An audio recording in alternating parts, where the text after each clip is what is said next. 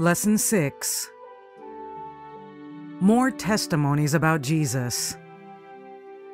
Sabbath afternoon, November 2. Christ presented to the multitude of Jews and Gentiles of all nations the real original truths connected with his kingdom, which had been buried out of sight. He sought to clear away the mist and fog of their false, long cherished ideas in regard to his mission and his kingdom. They supposed it was a temporal, earthly kingdom, but he showed them its spiritual and eternal nature. He unfolded before them the far reaching principles of the law of God. Commandment after commandment, he opened before them in its true spiritual bearing and showed the extent of the requirements of God's precepts. They are not only to direct conduct, but to control the heart. The lessons given by Christ were so different from anything to which the people had listened from the scribes and Pharisees that they were astonished at his doctrines. He did not present labored, intricate arguments that buried with exactions the commandments of God so that no one could ever hope to keep them. Jesus, the great teacher, laid open in the simplest language the great moral truths, clothing them with freshness and power. The Review and Herald, March 21, 1893, paragraph 3. The report of Christ's miracles had spread wherever the Jews were dispersed, and although for many months he had been absent from the feasts, the interest in him had not abated. Many from all parts of the world had come up to the Feast of Tabernacles in the hope of seeing him. At the beginning of the feast, many inquiries were made for him. The Pharisees and rulers looked for him to come, hoping for an opportunity to condemn him. They anxiously inquired, Where is he? But no one knew. The thought of him was uppermost in all minds. Through fear of the priests and rulers, none dared acknowledge him as the Messiah, but everywhere there was quiet yet earnest discussion concerning him. Many defended him as one sent from God, while others denounced him as a deceiver of the people. The Desire of Ages, page 451. Jesus could have been at peace with the world only by leaving the transgressors of the law unreproved, unrebuked. This he could not do, for he was to take away the sins of the world. Christ denounced unrighteousness and his very presence was a rebuke to sin. The atmosphere that surrounded his soul was so pure, so elevated, that it placed the hypocritical rabbis, priests, and rulers in their true position and revealed them in their true character as claiming sanctity and at the same time misrepresenting God and his truth. In the rich loveliness of the character of Christ, zeal for God was always apparent. His righteousness went before him, and the glory of the Lord was rearward. He hated one thing only, and that was sin. But the world loved sin and hated righteousness, and this was the cause of the hostility of the world to Jesus.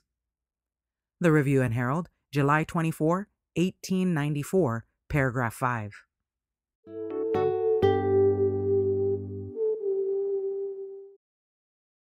Sunday, November 3. Humility of soul. John the Baptist testifies again. When after Christ's ministry began, the disciples of John came to him with the complaint that all men were following the new teacher, John showed how clearly he understood his relation to the Messiah and how gladly he welcomed the one for whom he had prepared the way. Ye yourselves bear me witness that I said, I am not the Christ, but that I am sent before him. He that hath the bride is the bridegroom. But the friend of the bridegroom, which standeth and heareth him, rejoiceth greatly because of the bridegroom's voice. This my joy therefore is fulfilled. He must increase, but I must decrease. John chapter 3 verses 27 to 30. Looking in faith to the Redeemer, John had risen to the height of self abnegation. He sought not to attract men to himself, but to lift their thoughts higher and still higher until they should rest upon the Lamb of God. He himself had been only a voice, a cry in the wilderness. Now, with joy, he accepted silence and obscurity that the eyes of all might be turned to the light of life. Gospel Workers, pages 55 to 56. The prophet John the Baptist points to the Savior as the Sun of Righteousness rising with splendor and soon to eclipse his own light, then growing pale and dim in the glory of a greater light. John, by his unselfish joy in the successful ministry of Jesus, presents to the world the truest type of nobility ever exhibited by mortal man. It carries a lesson of submission and self sacrifice to those whom God has placed in responsible positions. It teaches them never to appropriate to themselves undue honor, nor let the spirit of rivalry disgrace the cause of God. The news that had been carried to John concerning the success of Jesus was also borne to Jerusalem, and there created against him jealousy, envy, and hatred. Jesus knew the hard hearts and darkened minds of the Pharisees, and that they would spare no pains to create a division between his own disciples and those of John that would greatly injure the work. So he quietly ceased to baptize and withdrew to Galilee. He knew that the storm was gathering, which was soon to sweep away the noblest prophet God had ever given to the world. He wished to avoid all division of feeling in the great work before him, and for the time removed from that region for the purpose of allaying all excitement detrimental to the cause of God. The Spirit of Prophecy, Volume 2, pages 138 and 139. When, in the place of leaning upon human understanding or conforming to worldly maxims, we sit at the feet of Jesus, eagerly drinking in his words, learning of him, and saying, Lord, what wilt thou have me to do? Our natural independence, our self confidence, our strong self will will be exchanged for a childlike, submissive, teachable spirit. Our affections will center in Jesus, our thoughts will be strongly drawn heavenward. Christ will increase. I will decrease. We will cultivate the virtues that dwell in Jesus that we may reflect to others a representation of his character. Our High Calling, page 99.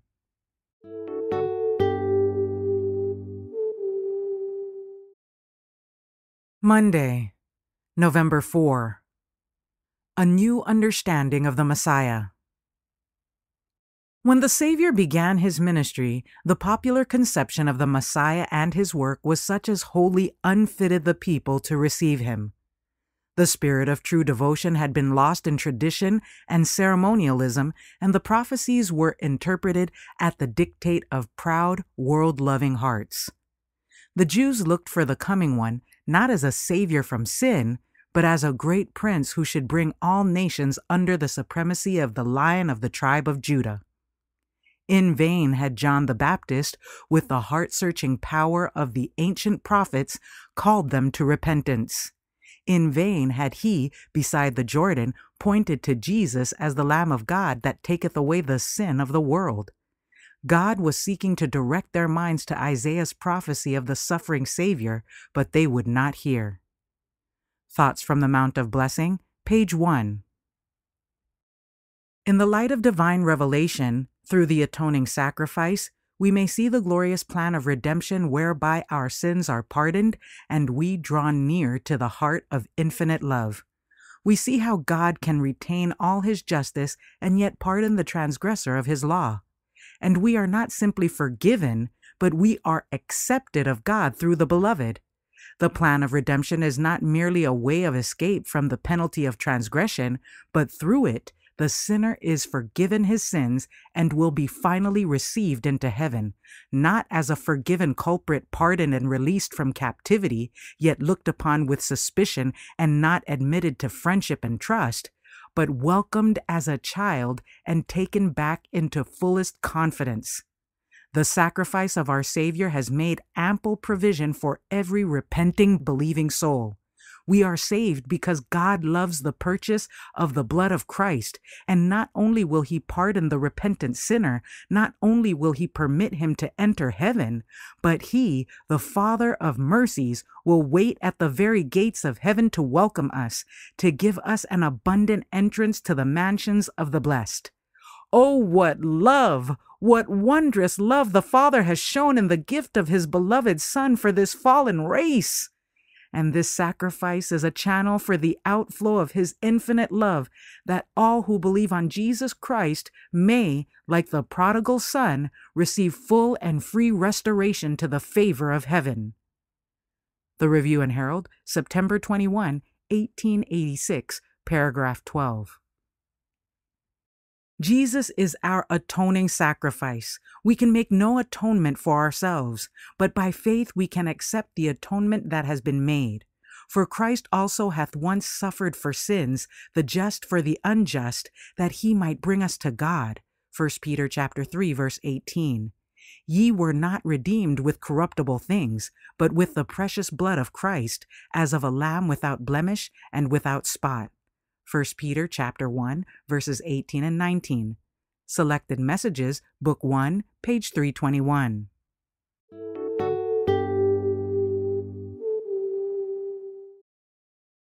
Tuesday, November 5. Acceptance and Rejection.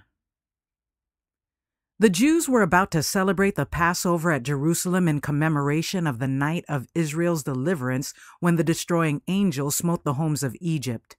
In the paschal lamb, God desired them to behold the Lamb of God, and through the symbol receive him who gave himself for the life of the world. But the Jews had come to make the symbol all important while its significance was unnoticed. They discerned not the Lord's body. The same truth that was symbolized in the paschal service was taught in the words of Christ, but it was still undiscerned. Now the rabbis exclaimed angrily, How can this man give us his flesh to eat? They affected to understand his words in the same literal sense as did Nicodemus when he asked, How can a man be born when he is old? John chapter 3 verse 4. To some extent they comprehended the meaning of Jesus, but they were not willing to acknowledge it. By misconstruing his words, they hoped to prejudice the people against him. Christ did not soften down his symbolical representation. He reiterated the truth in yet stronger language. Verily, verily, I say unto you, except ye eat the flesh of the Son of Man, and drink his blood, ye have no life in you. Whoso eateth my flesh and drinketh my blood hath eternal life, and I will raise him up at the last day. For my flesh is meat indeed, and my blood is drink indeed.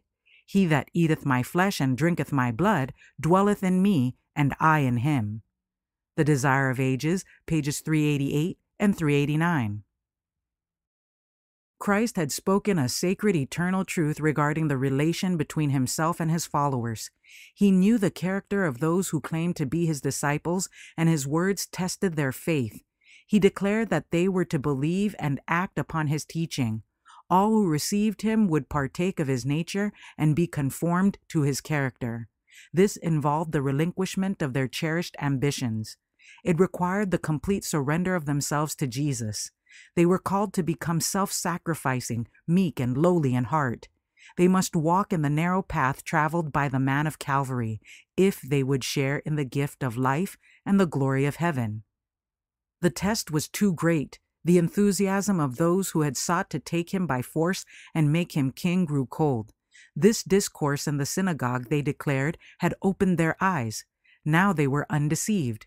In their minds, his words were a direct confession that he was not the Messiah, and that no earthly rewards were to be realized from connection with him. They had welcomed his miracle working power. They were eager to be freed from disease and suffering, but they would not come into sympathy with his self sacrificing life.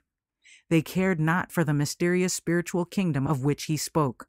The insincere, the selfish, who had sought him, no longer desired him if he would not devote his power and influence to obtaining their freedom from the Romans, they would have nothing to do with him.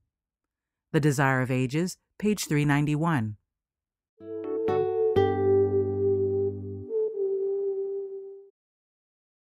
Wednesday, November 6. The Witness of the Father. The world for Christ was not a place of ease and self aggrandizement.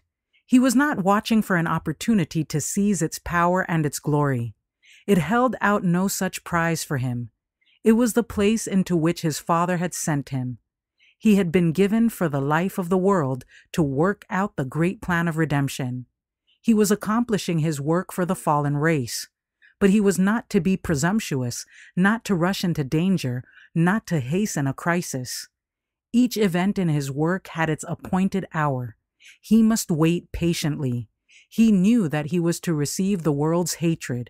He knew that his work would result in his death, but to prematurely expose himself would not be the will of his Father. The Desire of Ages, page 451. What was the work of the God given messenger to our world?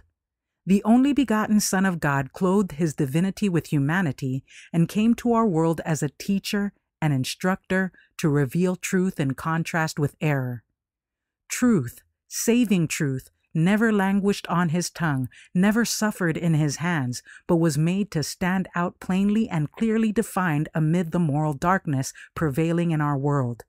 For this work he left the heavenly courts. He said of himself, For this cause came I into the world, that I should bear witness unto the truth. The truth came from his lips with freshness and power as a new revelation. He was the way, the truth, and the life. His life given for this sinful world was full of earnestness and momentous results, for his work was to save perishing souls. He came forth to be the true light shining amid the moral darkness of superstition and error, and was announced by a voice from heaven proclaiming, This is my beloved Son, in whom I am well pleased. And at his transfiguration, this voice from heaven was again heard, This is my beloved Son, in whom I am well pleased. Hear ye him. Fundamentals of Christian Education, page 405. The Savior took away the sins of the paralytic and then presented him to God as pardoned. And he gave him also physical healing. God had given his Son power to lay hold of the eternal throne. While Christ stood forth in his own personality, he reflected the luster of the position of honor that he had held within the enriching light of the eternal throne. On another occasion, Christ made the request, Father, glorify thy name. And in answer, there came a voice from heaven saying, I have both glorified it and will glorify it again. John chapter 12, verse 28.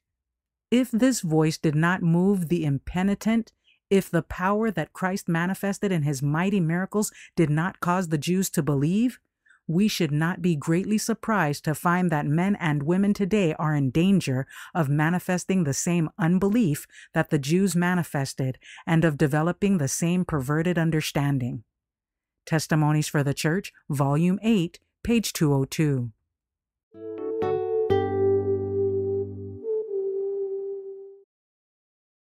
Thursday, November 7. The Witness of the Crowd. The flowing of the water from the rock in the desert was celebrated by the Israelites after their establishment in Canaan with demonstrations of great rejoicing. In the time of Christ, this celebration had become a most impressive ceremony. It took place on the occasion of the Feast of Tabernacles when the people from all the land were assembled at Jerusalem. On each of the seven days of the feast, the priests went out with music and the choir of Levites to draw water in a golden vessel from the spring of Siloam. They were followed by multitudes of the worshippers, as many as could get near the stream drinking of it, while the jubilant strains arose, With joy shall ye draw water out of the wells of salvation. Isaiah chapter 12, verse 3. The Savior made use of this symbolic service to direct the minds of the people to the blessing that he had come to bring them.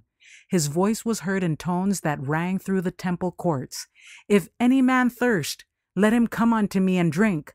He that believeth on me, as the scripture hath said, out of his belly shall flow rivers of living water. John chapter 7 verses 37 and 38. The refreshing water is an emblem of the divine grace which Christ alone can bestow, and which is as the living water, purifying, refreshing, and invigorating the soul. Patriarchs and Prophets, page 412. He in whom Christ is abiding has within him a never failing fountain of grace and strength. Jesus cheers the life and brightens the path of all who truly seek him. His love, received into the heart, will spring up in good works unto eternal life. And not only does it bless the soul in which it springs, but the living stream will flow out in words and deeds of righteousness to refresh the thirsting around him. Patriarchs and Prophets, page 412. Have you exhausted the fountain? No, for it is inexhaustible.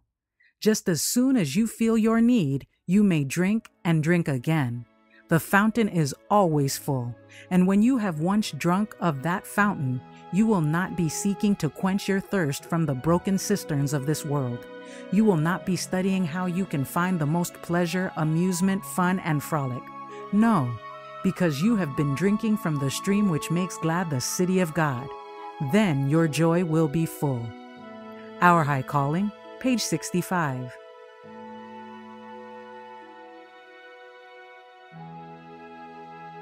For further reading, Conflict and Courage, I Must Decrease, page 275, and The Desire of Ages, In the Outer Court, pages 621 to 626.